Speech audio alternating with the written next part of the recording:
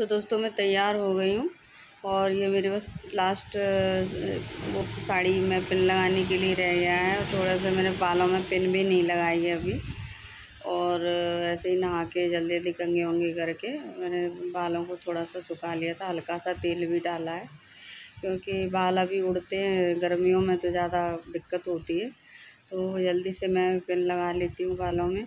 और मैंने रोज़ यूज़ की साड़ी पहनी हुई है क्योंकि मुझे ज़्यादा बनाव श्रृंगार पसंद नहीं है।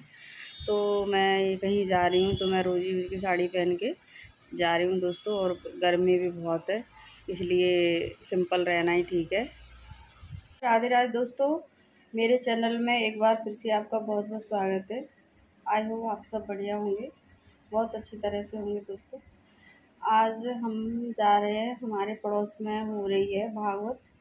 तो हमारी जो पास पड़ोस की औरतें हैं, वो भी जा रही हैं। बगल में ही थोड़ी दूर है तो वहाँ हो रही है भागवत। तो ज़्यादा ही लोग वहाँ पे पहुँच जाते हैं, खूब काफ़ी काफ़ी भीड़ हो जाती है। तो मैं भी तीन चार दिन से जा रही हूँ वहाँ पे।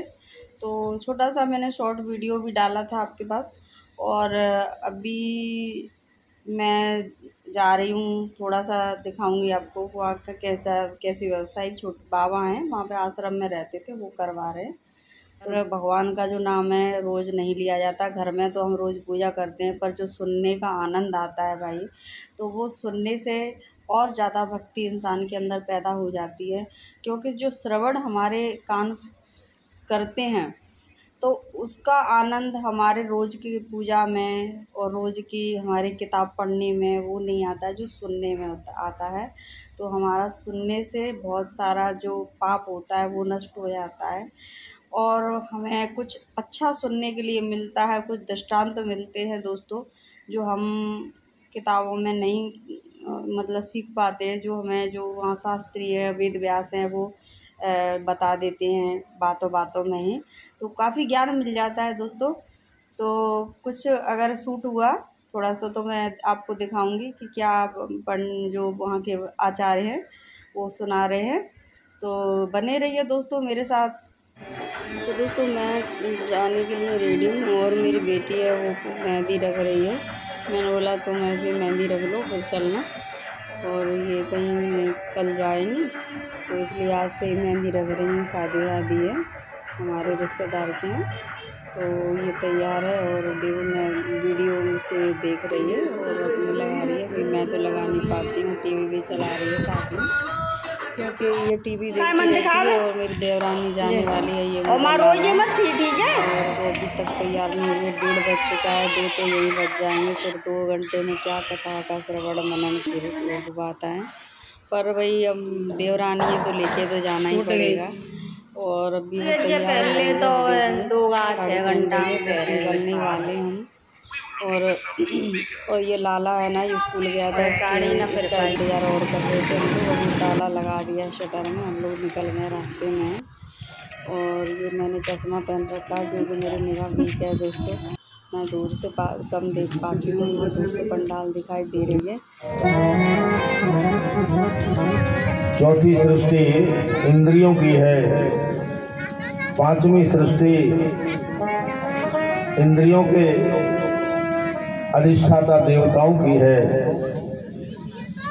मन भी इसी में आता है और छठी सृष्टि अविद्या की है। सातवीं सृष्टि वैज्ञानिक सृष्टि इसमें छह प्रकार की है। वनस्पति औषधि लता इत्यादि। आठवीं सृष्टि पशु पक्षियों की अट्ठाईस प्रकार की है।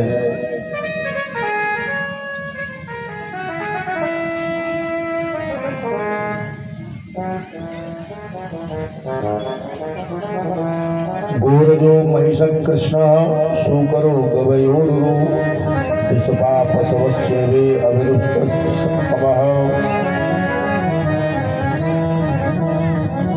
इस प्रकार से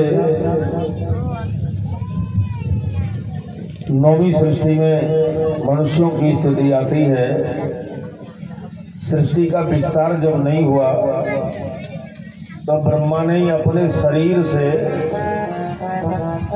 दो भाग किए, स्वयं, मनु और शत्रु ने छाया से करदम को उत्पन्न किया। इनसे कहा, सृष्टि करो। बोली, सृष्टि कैसे होगी विवाह करो। विवाह कैसे होगा बोले, तपस्या करो। ये तो तपस्या के लिए चले गए। स्वयं मनो और शत्रुपा रानी, इनसे कहा, सृष्टि करो। स्वयं मनु ने कहा, सृष्टि तो करे, लेकिन पृथ्वी की स्थापना तो हो। ये तो जलमग्न है। ब्रह्मा विचारे कर रहे थे मन में, एक छोटा सा बराह के रूप में जीव निकला, बाहर आते ही बड़ा विशाल रूप लेकर के बराह भगवान गए हैं और अपने घर घर शब्द करते हुए दाड़ा फैला करके पृथ्वी की स्थापना की है और हिरण्याक्ष का वध किया है। असल में भगवान प्रीत न करियो।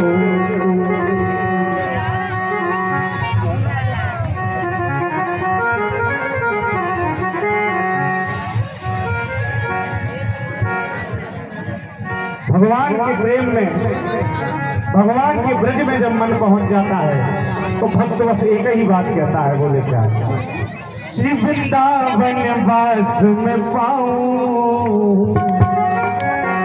दिन तो आपके लिए वृंदावन मिल गया। है में पाऊँ, ब्रज तज पे कुंठ न जाऊँ